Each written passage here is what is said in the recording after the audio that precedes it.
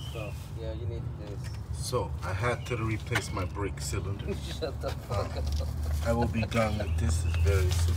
I had a little meat on here, but as you can see, this is really bad. It will start to scrape on the edge. Oh, look at Look at that.